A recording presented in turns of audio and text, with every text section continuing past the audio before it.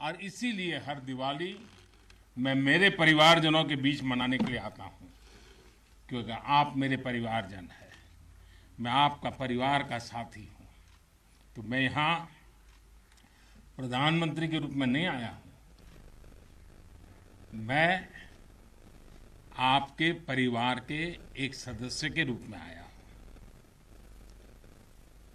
आप सभी के बीच आना जो भाव अपने परिवार के बीच जाकर के होता है, वही भाव मेरे मन में होता है। और जब से मैं इस संवैधानिक जिम्मेवारी को संभाल रहा हूँ, आज उसको 20 साल से भी अधिक समय हो गया। बहुत लंबे अरसे तक मुझे देशवासियों ने इस प्रकार की सेवा का मौका दिया। पहले गुजरात वालों ने दिया देशवासियों ने दिया। लेकिन मैंने हर दिवाली सीमा पर तैनात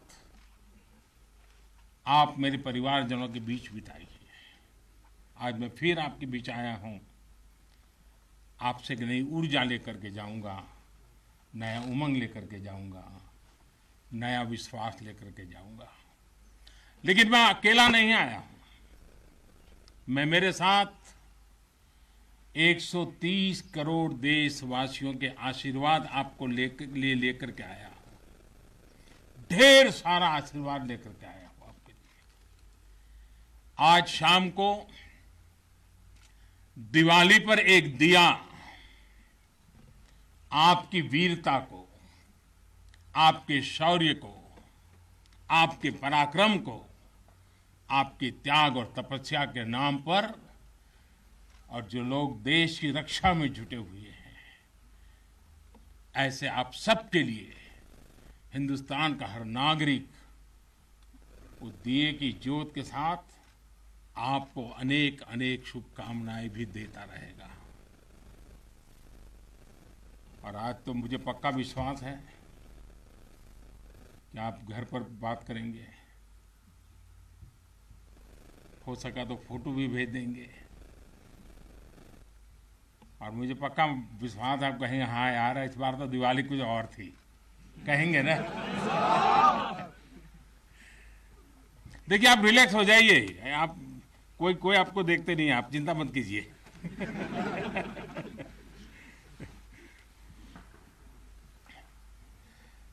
अच्छा आप ये भी बताएँगे ना, कि मिठाई भी बहुत खाई थी। नहीं बताएँगे। तो बोलो ना। साथियों, आज मेरे सामने देश के जो वीर हैं, देश की जो वीर बेटियाँ हैं,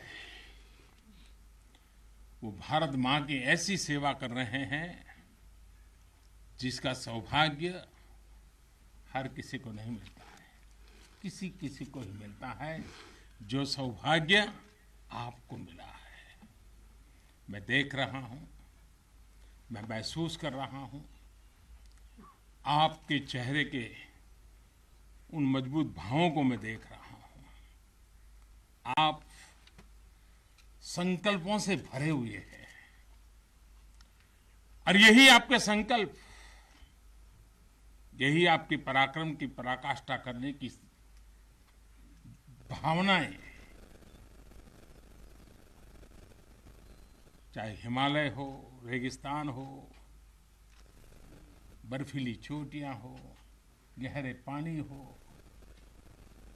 कहीं पर भी आप लोग माँ भारती का एक जीता जागता सुरक्षा कवच है। आपके सीने में वो जज्बा है। जो 130 करोड़ देशवासियों को भरोसा होता है वो चैन की नींद सो सकते हैं। आपके सामर्थ्य से देश में शांति और सुरक्षा एक निश्चिंतता होती है, एक विश्वास होता है। आपके पराक्रम की वजह से हमारे पर्वों में प्रकाश फैलता है, खुशियाँ भर जाती हैं। हमारे पर्वों में चार चाँद लग जाते हैं। अभी दीपावली के बाद गोवर्धन पूजा, फिर भैया दूज और छठ पर्व भी बिल्कुल गिनती के दिनों में सामने आ रहा है। आपके साथ ही मैं सभी देशवासियों को नौशेरा की इस वीर वसुंधरा से इन सभी पर्वों के लिए देशवासियों को भी बहुत बहुत शुभकामनाएँ देता हूँ। देश के अन्य हिस्सों में, बड़ी संख्या में लोग आज दिवाली का जब दूसरा दिन होता है तो नववर्ष की भी शुरुआत करते हैं। और हमारे यहाँ तो हिसाब किताब भी दिवाली से पूरा होता है और दिवाली के दूसरे दिन से शुरू होता है।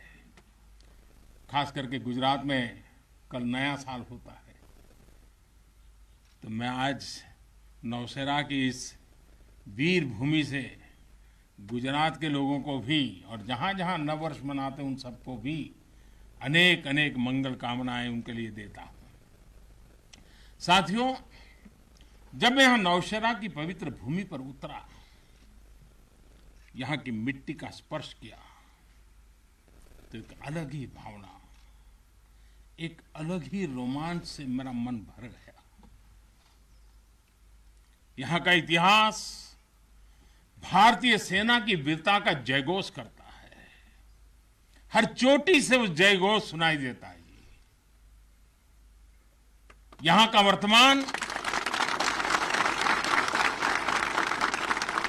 यहाँ का वर्तमान, आप जैसे वीर जवानों की वीरता का जीता जागता उदाहरण है।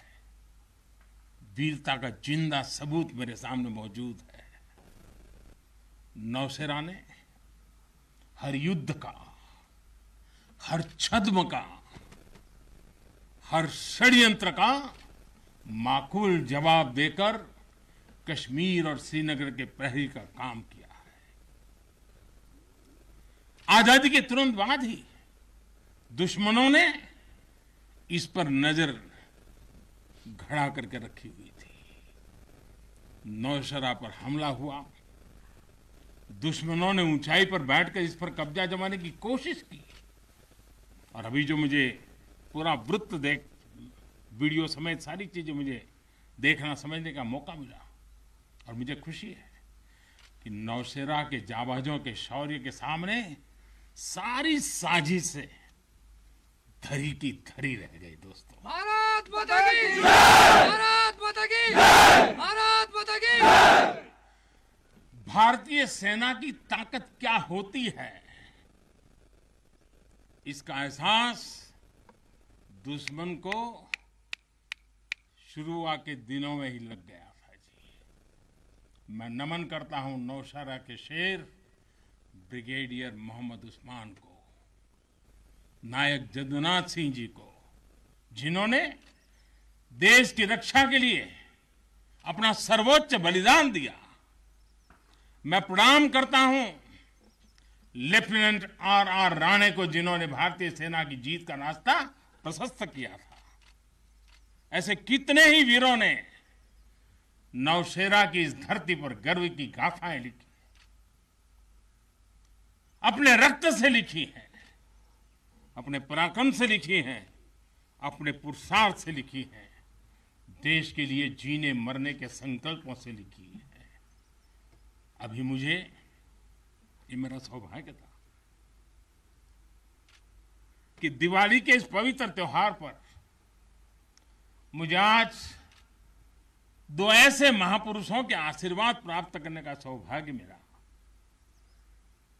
मेरे जीवन में एक प्रकार से अनमोल विरासत है। मुझे आशीर्वाद मिले।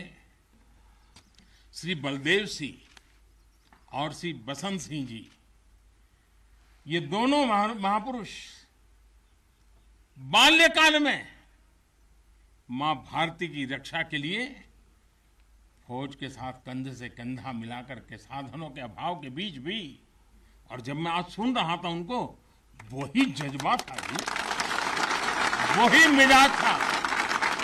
और वर्णन ऐसे कर रहे थे जैसे आज ही अभी से लड़ाई के मैदान से आए हैं। ऐसा वर्णन कर रहे आज़ादी के बाद हुए युद्ध में, ऐसे अनेकों स्थानीय किशोरों ने ब्रिगेडियर मोहम्मद उस्मान के मार्गदर्शन से बाल सैनिक की भूमिका निभाई थी। उन्होंने अपने जीवन की परवाह न करते हुए उतनी कम उम्र में देश की सेना के साथ कंधे से कंधा मिलाकर के काम किया था। सेना की मदद की थी। नौशेरा के शौर्य का यह सिलसिला तब से जो शुरू हुआ न कभी रुका है न कभी झुका है। यही तो नौशेरा है।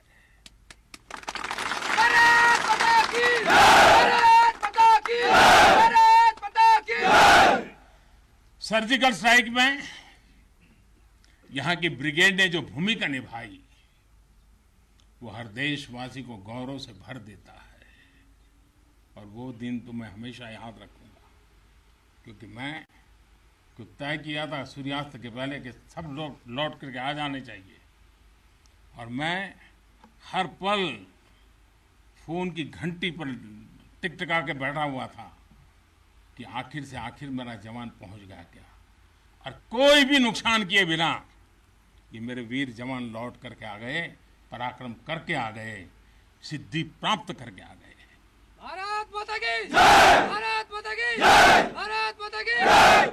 सर्जिकल स्ट्राइक के। बाद यहाँ अशांति फैलाने के अनगिनत कुत्सित प्रयास हुए।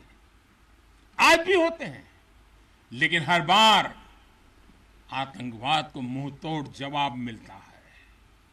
असत्य और अन्याय के खिलाफ इस धरती में एक स्वाभाविक प्रेरणा है। माना जाता है और मैं मानता हूँ ये अपने आप में बड़ी प्रेरणा है। ऐसा माना जाता है कि पांडवों ने भी अज्ञातवास के दौरान अपना कुछ समय इसी क्षेत्र में व्यतीत किया था।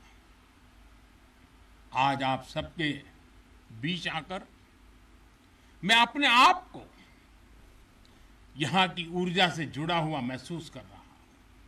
साथियों, इस समय देश अपनी आज़ादी के 75 वर्ष का पर्व मना रहा है। आज़ादी का अमृत महोत्सव गुलामी के लंबे कालखंड में असंख्य बलिदान देकर हमने ये आज़ादी हासिल की है। इस आज़ादी की रक्षा करने का दायित्व हम सभी हिंदुस्तानियों के सर पे है।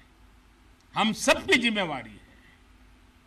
आज़ादी के अमृत काल में हमारे सामने नए लक्ष्य हैं, नए संकल्प हैं, नई चुनौतियाँ भी हैं। ऐसे महत्वपूर्ण कालखंड में आज का भारत अपनी शक्तियों को लेकर भी सजग है और अपने संसाधनों को लेकर भी दुर्भाग्य से। पहले हमारे देश में सेना से जुड़े संसाधनों के लिए ये मान लिया गया था कि हमें जो कुछ भी मिलेगा, विदेशों से ही मिलेगा। हमें टेक्नोलॉजी के मामले में झुकना पड़ता था। ज़्यादा पैसे खर्च करने पड़ते थे। नए हथियार, नए उपकरण खरीदने होते थे तो प्रक्रिया सालों साल चलती रहती थी। यानी एक अफसर फ़ाइल शुरू करें, वो रिटायर हो जाए, तब तक भी चीज़ नहीं पहुँचती थी। ऐसा ही कालखंड था। नतीजा ये कि ज़रूरत के समय हथियार फिर आपाधापी में खरीदे जाते थे। यहाँ तक कि स्पेयर पार्ट्स के लिए भी हम दूसरे देशों पर निर्भर रहते थे। साथियों डिफेंस सेक्टर में आत्मनिर्भरता का संकल्प उन पुरानी स्थितियों को बदलने का एक सशक्त मार्ग है। देश के रक्षा रक्षा खर्च के लिए जो बजट होता है, अब उसका करीब पैंसठ प्रतिशत देश के भीतर ही खरीदी पर खर्च हो रहा है। हमारे देश ये सब कर सकता है, करके दिखाया है। एक अभूतपूर्व कदम उठाते हुए अब भारत ने यह भी तय किया है कि 200 से ज़्यादा साजा, साजो सामान और उपकरण अब देश के भीतर ही खरीदे जाएँगे। आत्मनिर्भर भारत का यही तो संकल्प है। अगले कुछ महीनों में इसमें और सामान जुड़ने वाले हैं। देश को आत्मनिर्भर बनाने वाली ये पॉजिटिव लिस्ट और लंबी हो जाएगी। इससे देश का डिफेंस सेक्टर मज़बूत होगा। नए नए हथियारों, उपकरणों के निर्माण के लिए निवेश बढ़ेगा। साथियों, आज हमारे देश के भीतर अर्जुन टैंक बन रहे हैं। तेजस जैसे अत्याधुनिक लाइट कॉम्पैक्ट एयरक्राफ्ट बन रहे हैं। अभी विजयादशमी के दिन सात नई डिफेंस कंपनियों को भी राष्ट्र को समर्पित किया गया हमारी जो ऑर्डिनेंस फैक्ट्रीज थी वो अब स्पेशलाइज सेक्टर में आधुनिक रक्षा उपकरण बनाएगी। आज हमारा प्राइवेट सेक्टर भी राष्ट्र रक्षा के संकल्प का सारथी बन रहा है। हमारे कई नए डिफेंस स्टार्टअप्स आज अपना परचम लहरा रहे हैं। हमारे नौजवान 20, 22, 25 साल के नौजवान क्या क्या चीज़ें लेकर के आ रहे हैं गर्व होता है। साथियों उत्तर प्रदेश और तमिलनाडु में बन रहे डिफेंस कॉरिडोर इस स्पीड को और तेज करने वाले हैं। ये सारे कदम जो आज हम उठा रहे हैं, वो भारत के सामर्थ्य के साथ साथ डिफेंस एक्सपोर्टर के रूप में हमारी पहचान को भी सशक्त करने वाले हैं। साथियों, हमारे शास्त्रों में कहा गया है को अति भार को अति भार समर्था नाम। यानी जो समर्थ होता है, उसके लिए अति भार मायने नहीं रखता।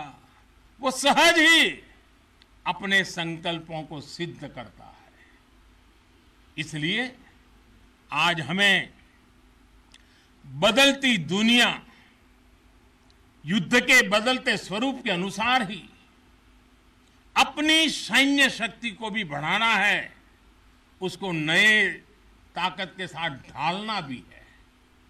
हमें अपनी तैयारियों को दुनिया में हो रहे इस तेज परिवर्तन के अनुकूल ही ढालना ही होगा। हमें मालूम है, किसी समय हाथी घोड़े पर लड़ाइयाँ होती थी। अब कोई सोच नहीं सकता हाथी घोड़े की लड़ाई। रूप बदल गया। पहले शायद युद्ध के रूप बदलने में दशकों लग जाते होंगे, शताब्दियाँ लग जाती होगी। आज तो सुबह एक तरीका होगा तो शाम को दूसरा तरीका होगा। लड़ाई का इतनी तेज़ी से टेक्नोलॉजी अपनी जगह बना रही है। आज की युद्ध कला सिर्फ़ ऑपरेशंस के तौर तरीकों तक ही सीमित नहीं है। आज अलग अलग पहलुओं में बेहतर तालमेल, टेक्नोलॉजी और हाइब्रिड टैक्टिक्स का उपयोग बहुत बड़ा फ़र्क डाल सकता है। संगठित नेतृत्व एक्शन में बेहतर समन्वय आज बहुत ज़रूरी है। इसलिए बीते समय से हर स्तर पर लगातार रिफॉर्म्स किए जा रहे हैं। चीफ ऑफ़ डिफेंस स्टाफ की नियुक्ति हो, या डिपार्टमेंट ऑफ़ मिलिट्री अफेयर्स का गठन, ये हमारी सैन्य शक्ति को बदलते समय के साथ कदम ताल करने में अहम रोल निभा रहे हैं। साथियों, आधुनिक बॉर्डर इंफ्रास्ट्रक्चर भी हमारी सैन्य ताकत को और मज़बूत करने वाला है। सीमावर्ती इलाकों की कनेक्टिविटी को लेकर पहले कैसे काम होता था, ये आज देश के लोग आप सभी भली भांति जानते हैं। अब आज लद्दाख से लेकर के अरुणाचल प्रदेश तक, जैसलमेर से लेकर के अंडमान निकोबार द्वीप तक, हमारे बॉर्डर एरियाज़ में, हमारे समुद्री तट पर, जहाँ सामान्य कनेक्टिविटी भी नहीं होती थी, वहाँ, आज वहाँ आधुनिक रोड बड़े बड़े टनल्स पुल और ऑप्टिकल फाइबर जैसे नेटवर्क बिछाए जा रहे हैं। इससे हमारी डिप्लॉयमेंट कैपेबिलिटी में तो भूतपूर्व सुधार हुआ ही है। सैनिकों को भी अब बहुत अधिक सुविधा हो रही है। साथियों, नारी शक्ति को नए और समर्थ भारत की शक्ति बनाने का गंभीर प्रयास बीते सात सालों में हर सेक्टर में किया जा रहा है। देश की रक्षा के क्षेत्र में भी, भारत की बेटियों की भागीदारी अब नई बुलंदी की तरफ़ बढ़ रही है। नेवी और एयरफोर्स में अग्रिम मोर्चों पर तैनाती के बाद अब आर्मी में भी महिलाओं की भूमिका का विस्तार हो रहा है।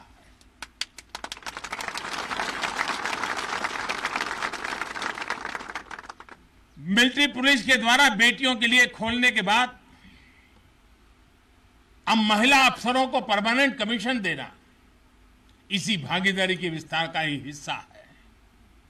अब बेटियों के लिए नेशनल डिफेंस एकेडमी, राष्ट्रीय मिलिट्री स्कूल और राष्ट्रीय इंडियन मिलिट्री कॉलेज जैसे देश के प्रीमियर मिलिट्री संस्थानों के दरवाजे खोले जा रहे हैं।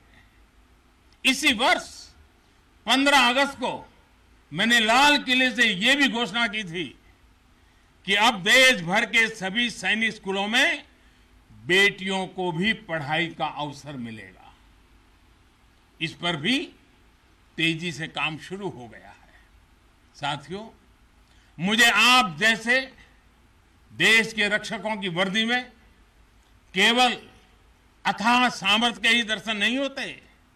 मैं जब आपको देखता हूँ तो मुझे दर्शन होते हैं अटल सेवा भाव के अड़िक संकल्प शक्ति के और अतुलनीय संवेदनशीलता के। इसलिए भारत की सेना दुनिया की किसी भी दूसरी सेना से अलग है। उसकी एक अलग पहचान है। आप विश्व की शीर्ष सेनाओं की तरफ़ एक प्रोफेशनल फोर्स तो है ही, लेकिन आपके मानवीय मूल्य, आपके भारतीय संस्कार आपको औरों से अलग एक असाधारण व्यक्तित्व के धनी बनाते हैं। आपके लिए सेना में आना एक नौकरी नहीं है। पहली तारीख को तनख्वाह आएगा, इसके लिए नहीं आए आप लोग। आपके लिए सेना में आना एक साधना है, साधना। जैसे कभी ऋषि मुनि साधना करते थे ना, मैं आपके हर एक के भीतर वो साधक का रूप देख रहा हूँ। और आप माँ भारती की साधना कर रहे हैं। आप जीवन को उस ऊंचाई पर ले जा रहे हैं कि जिसमें 130 करोड़ देशवासियों की ज़िंदगी जैसे आपके भीतर समाहित हो जाती है। ये साधना का मार्ग है। और हम तो भगवान राम में अपने सर्वोच्च आदर्श खोजने वाले लोग हैं। लंका विजय करने के बाद भगवान राम जब अयोध्या लौटे थे तो यही उद्घोष करके लौटे थे। अपि स्वर्णमयी लंका न में लक्ष्मण रोचते। जननी जन्मभूमि स्वर्गादपि करियशी यानी सोने और समृद्धि से भरपूर लंका को हमने जीता ज़रूर है, लेकिन हमारी ये लड़ाई हमारे सिद्धांत और मानवता की रक्षा के लिए थी। हमारे लिए तो हमारी जन्मभूमि ही हमारी है, हमें वहीं लौटकर उसी के लिए जीना है। भारत भारत भारत और इसलिए जब प्रभु राम लौटकर आए तो पूरी अयोध्या ने उनका स्वागत एक माँ के रूप में किया। अयोध्या के हर नर नारी ने यहाँ तक कि पूरे भारतवर्ष ने दिवाली का आयोजन कर दिया। यही भाव हमें औरों से अलग बनाता है। हमारी यही उदात भावना हमें मानवीय मूल्यों के उस अमर शिखर पर विराजमान करती है, जो समय के कोलाहल में, सभ्यताओं के हलचल में भी अड़ीग रहती है। इतिहास बनते हैं, इतिहास बिगड़ते हैं। सत्ताएँ आती हैं, सत्ताएँ जाती है। साम्राज्य आसमान छूते हैं, ढहते हैं। लेकिन भारत हज़ारों साल पहले भी अमर था। भारत आज भी अमर है और हज़ारों साल बाद भी अमर रहेगा।